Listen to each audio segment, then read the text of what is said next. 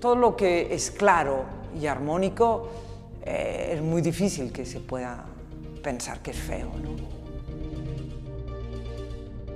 La ciudad es el espacio de convivencia, es donde nos hacemos sociedad. Depende de quién eres, vas a dar respuesta de una manera o de otra.